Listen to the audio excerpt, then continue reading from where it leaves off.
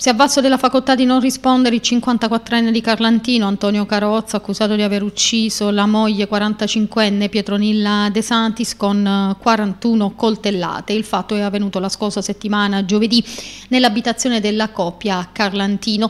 Le condizioni psichiche dell'uomo non hanno permesso di poter reggere il confronto con il GIP. L'interrogatorio di garanzia si è svolto ieri mattina nella stanza dell'ospedale dove l'uomo è ricoverato e piantonato dai carabinieri.